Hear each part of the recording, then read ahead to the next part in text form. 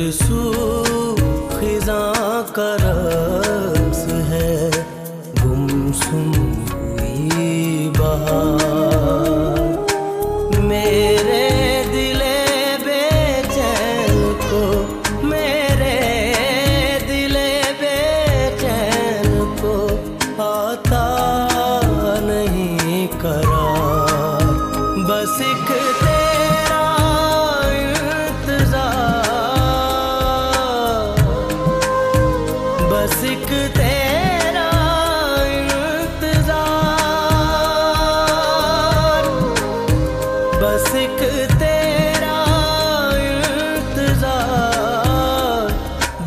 एक तेरा इंतज़ार। फिर उस घर की खुशियाँ छोड़ के यहाँ क्यों आ गई हो? क्योंकि क्योंकि उस घर की खुशियों में मुझे आपकी याद आ रही थी। आप अपनी खुशी किससे शेयर आज आज मुझे मामा की बहुत याद आ रही है। अरे वैसे वो लड़की ऐसी लगती तो नहीं है। मामा इस दौर में कोई किसी को सही अंदाज में पहचान ही नहीं पाता। हाँ ये चाँद आज अभी तक निकला क्यों नहीं?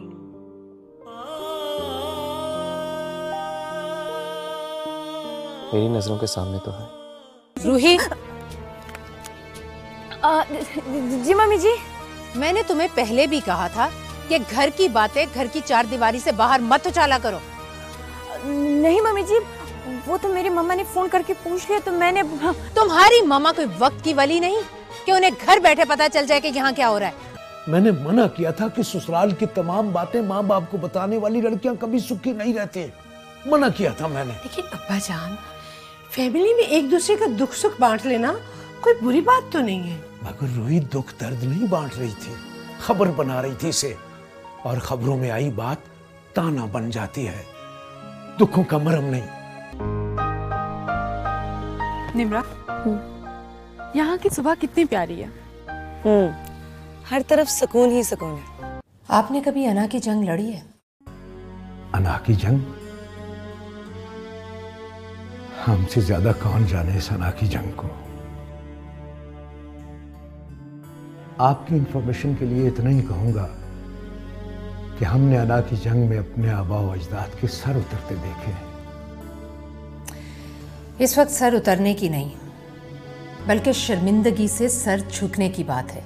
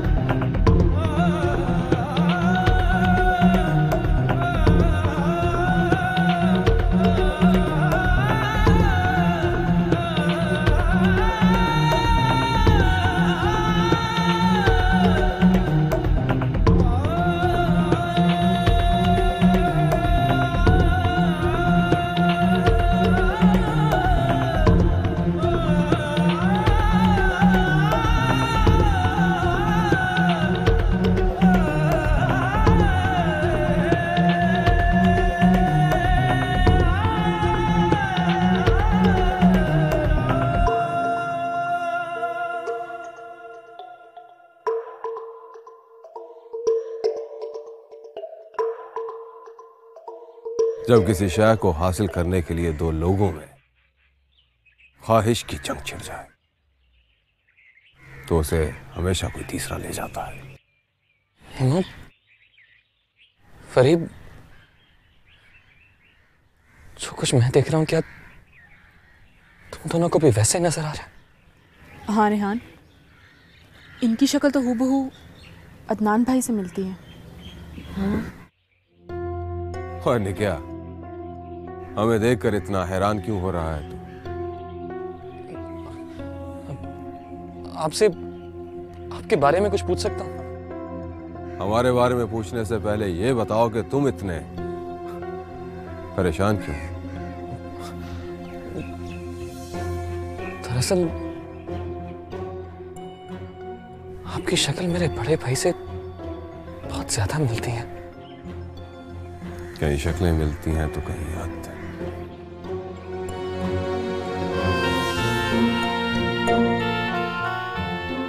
और कहीं तो सोचे भी मिल जाती हैं। ये सब उसका कमाल है। एक्सक्यूज मी रेहान कोई मसला हुआ? नो सर शराफत अली खान।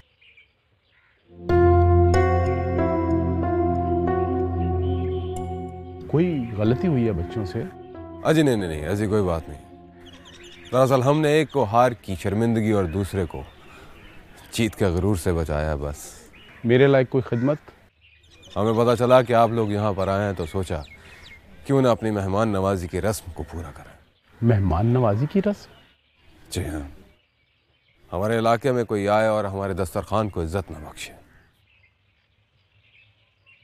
ऐसा कभी हुआ नहीं इसलिए हम खुद आप लोगों को दावत देने आए। जी बहुत शुक्रिया।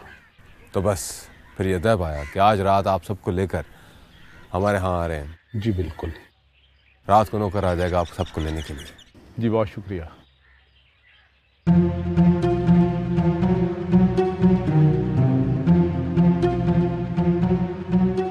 और हाँ नहीं क्या? कुदरत के करिश्मे पर उसका शुक्र अदा करते हैं। परेशान नहीं होते।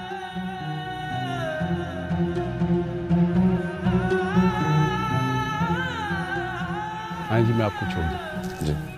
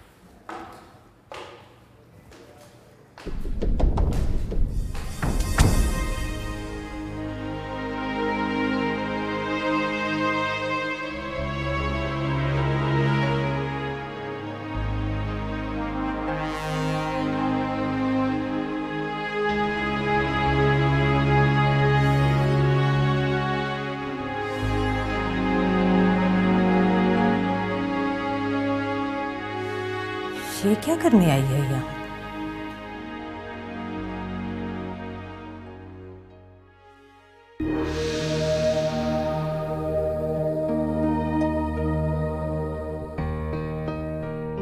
क्या लेने आई हो यहाँ?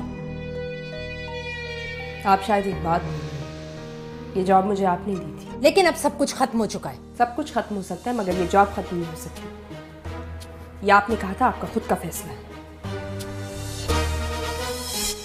हम चाहते हैं कि आप इस कंपनी में एज डायरेक्टर काम करें। थैंक यू लेकिन खाला जान ऐसा ना हो कल को उस्मान वापस आए और आप उनके कहने पे अपना फैसला बदल दें। बिल्कुल नहीं क्योंकि हम अपना फैसला खुद भी नहीं बदल सकते। लेकिन तुम्हारी हरकत ने हमें हमारी ज़ुबान से फिरने का रास्ता दिखाया है। खाला जान सजाएँ तब सुनाई जाती हैं जब जुर्म साबित हो। और आप ये बात अच्छी तरह से जानती हैं कि हमारी बेगुनाही के गवाह भी बाकी हैं। बहरहाल दफ़ा हो जाओ यहाँ से। हम तुम्हारी शक्ल भी नहीं देखना चाहते।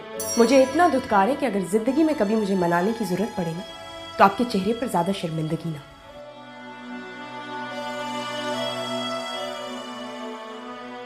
आज उस्मान आ रहे और मैं नहीं चाहती जैसे मैं वक्ती तौर पर आपकी नज़रों से गिरी बिल्कुल वैसे ही एक माँ अपने बेटे की नज़रों से हमेशा हमेशा के लिए गिर जाए। और हाँ ये बात मैंने अभी तक अपने बाबा को नहीं बताई। आखिर कब तक छुपाओगी? एक दिन तो उन्हें तुम्हारे गुनाह का पता चल ही जाएगा। खाला जान ये वो गलत फहमी है जो सिर्फ़ और सिर्फ़ आपके जहन तक महदूद है। आपने मुझे बेटी तो कहा मगर माँ नहीं बनी। मगर मैं मैं अब भी बेटी के मकाम पर खड़ी मत बनो हमारी बेटी और और निकल जाओ यहाँ से। निकल जाऊँगी, मगर उस्मान के आने के बाद। अगर वो मेरी बेगुनाई का सबूत ना बना तो फिर मैं इस ऑफ़िस में तो क्या? इस दुनिया में ही नज़र नहीं आऊँगी। ये वादा है एक बेटी का एहसास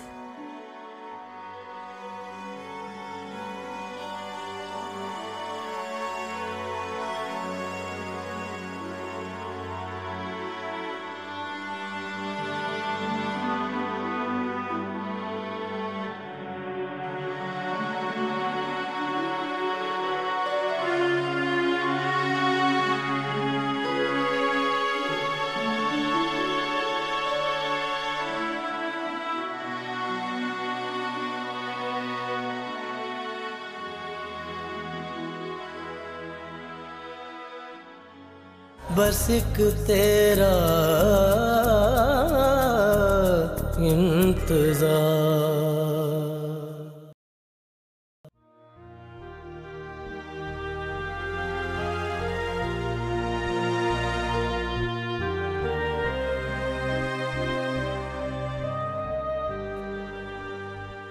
वो छोटी बीबी नहीं आई तुम्हारे साथ? साहब वो तो कल रोते हुए घर चली गई थी टैक्सी पर। टैक्सी पर? क्यों? पता नहीं साहब।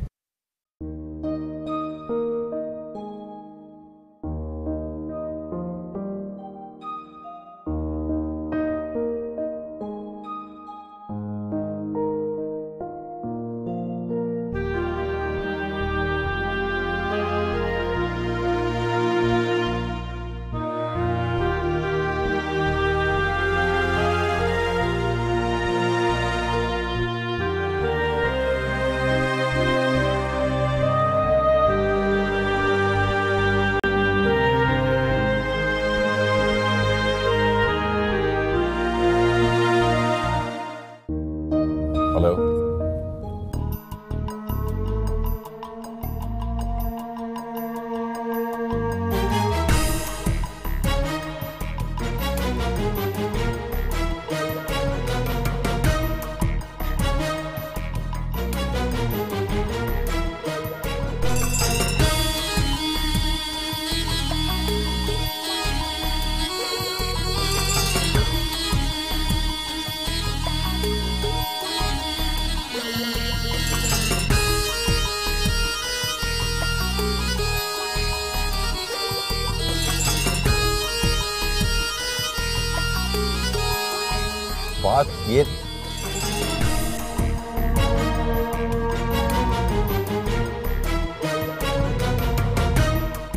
नहीं।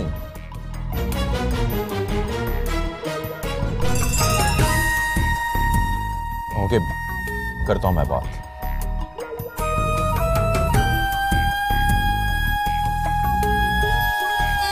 गाड़ी खालू जान के घर की तरफ़ मोड़ो। जी, बेहतर, सर।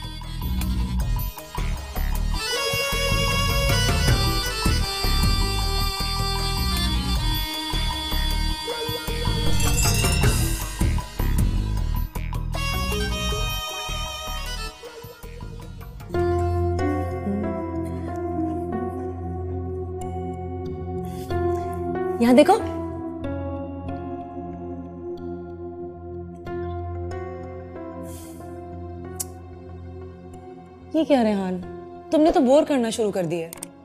क्यों? मैंने ऐसा क्या कर दिया? देखो जब से वो आए हैं ना वो क्या नाम है उनका? एस खान। हाँ एस खान। ओ तुम तो अपने फादर का नाम बता रहे हो।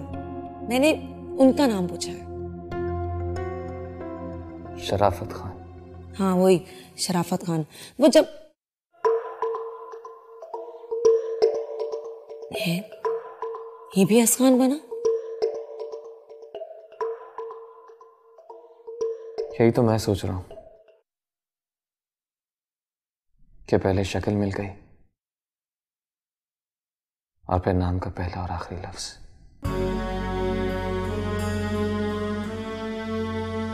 अच्छा ये बताओ रेहान कि ए से जेड तक कितने अल्फाबेट्स होते हैं? छब्बीस।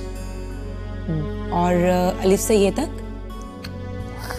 तकरीबन थर्टी प्लस होते हैं। हम्म। अब ये वो हर्फ हैं जिनसे नाम बनते हैं। और साइंसी तहकीक के मुताबिक एक वक्त में इस अर्थ पर रहने वाले सात लोग एक जैसा सोच सकते हैं। इसलिए मुझे नहीं लगता कि ये कोई बहुत बड़ी बात है। तो फरी? क्यों चिल्ला रही हो? तुम्हारी तरफ़ ही आ रही हूँ। हाँ जो भी। ये कैमरा पकड़ो और हम दोनों की तस्वीर बनाओ। ठीक है बाद में तुम मेरी भी बनाओ ओके डन हाँ देखो ना।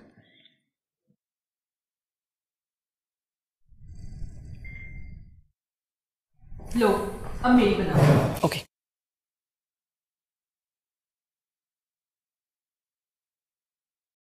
ओहो सॉरी इसकी तो बैटरी खत्म हो गई। मैं चार्ज करके लाती हूँ और फिर तुम्हारी तस्वीर बनाऊँगी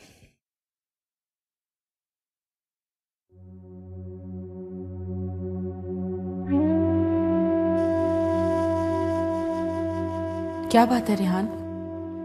काफ़ी गहरी सोच में लग रहे हो। हाँ कुछ नहीं हाँ कुछ नहीं। ये क्या बात हुई? इसी हाँ और ना के दरम्यान अटक गया मैं। तो फिर ऐसी सोच को ना सोचो जो तुम्हें किसी फैसले तक पहुँचने नहीं देती। ऐसा क्यों सोच रहा हूँ ये तुम नहीं सोच सकते?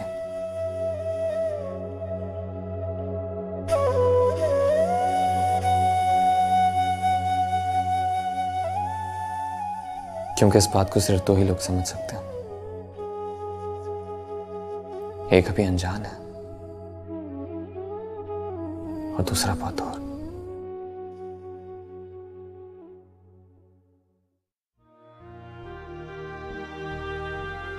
अजीब उलझी हुई बात करके मुझे भी उलझा कर चला गया।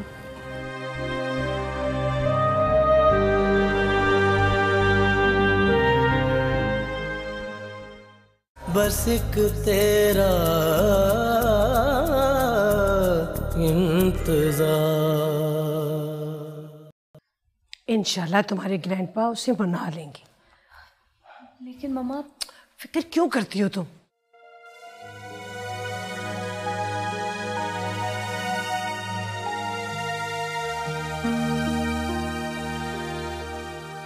रोही बेटा एक गिलास पानी ले जी।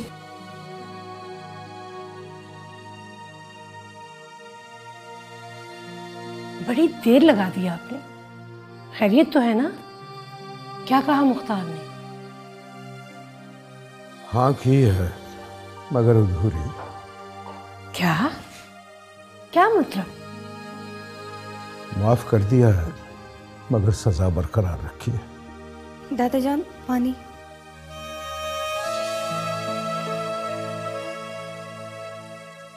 सफीना, जब हम दूसरों की बातों पर ध्यान देना शुरू कर देते हैं तो अपनी नफी कर जाते हैं। और ये भूल जाते हैं कि इस वक्त हमसे क्या कोताही हो रही है। और जब वही कोताही सजा बनकर हमारे सामने आ जाती है तो हमारे पास बचने का कोई रास्ता नहीं होता। अभी फ़िलहाल रूही इसी घर में रहेगी। लेकिन क्यों दादा जान इस क्यों का जवाब भी तुम्हारे पास ही है रूही? क्योंकि तुम्हारी सास पहले उस मसले को हल करना चाहती है जो तुमने उभारा है। वो तो हल हो जाएगा क्योंकि वो उस्मान वापस आ गए। मगर मुँह से निकली बात तो वापस नहीं आती। अब दुआ करो कि तुम्हारा किया हुआ इशारा एक बेटी के उजड़ने का सबब न बने।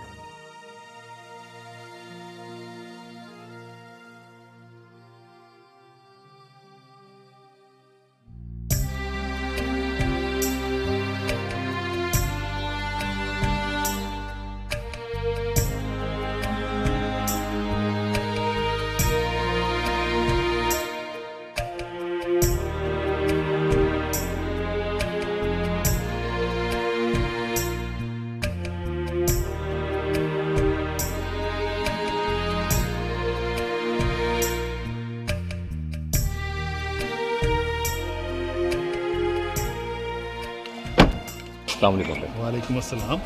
कैसा रहा तुम्हारा टूर वेरी नाइस अंकल वो बल्किस। बिल्किस को तो मैं अभी ऑफ़िस छोड़ के आया। ऑफ़िस हाँ। अच्छा मैं चलता हूँ अंकल नहीं तो कुछ लोगे नहीं। आओ ना अंदर। बस thank you uncle so much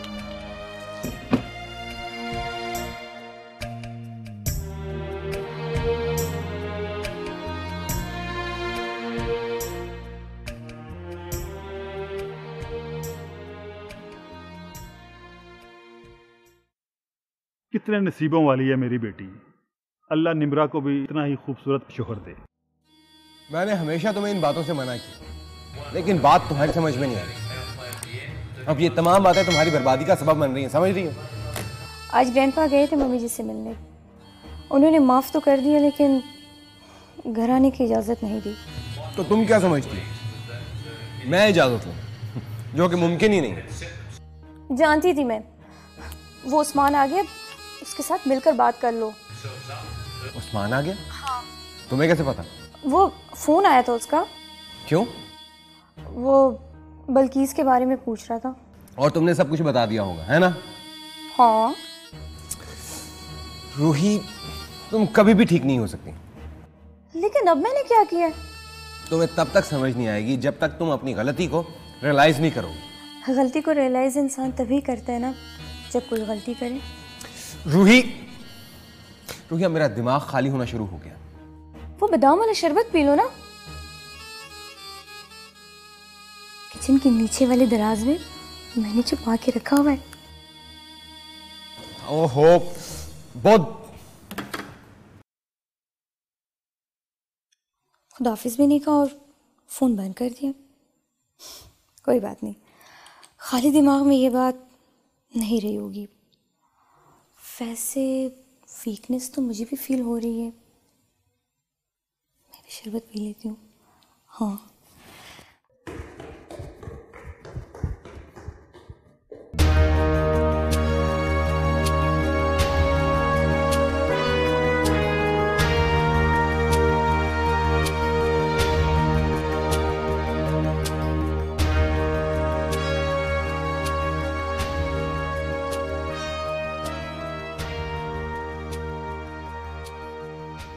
Balkis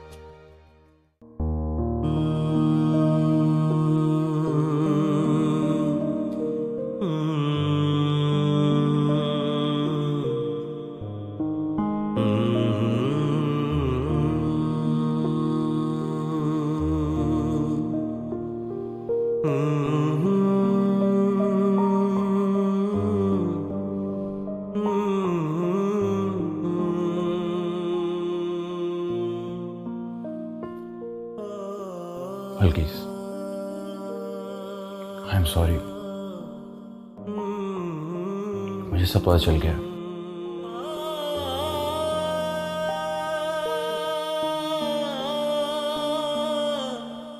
क्या? क्या पता चल गया? यही जो सलूक किया है मामा ने तुम्हारे साथ। मेरे साथ? हाँ।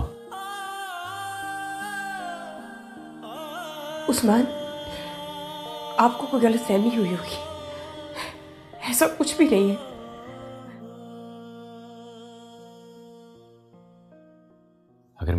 आने वाली बात में सच्चाई नहीं है, जिसने तुम्हें सच्चा होने के बावजूद झूठा बना दिया। तो फिर तुम रो क्यों रही हो? मेरे रोने का क्या है? पिछले दो दिन से ये हुए के रुकने का नाम ही नहीं ले रहे। आपको पता है क्यों? क्योंकि इतनी बड़ी खुशी जो मिली है मुझे, बस डरती हूँ कि किसी की कोई बुरी नज़र ना लग जाए। सकती हूँ खाला जान? मैं सही कह रही हूँ ना।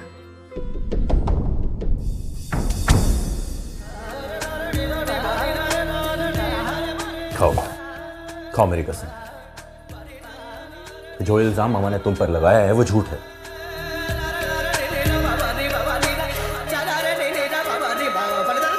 हर सू का रक्स है गुमसुम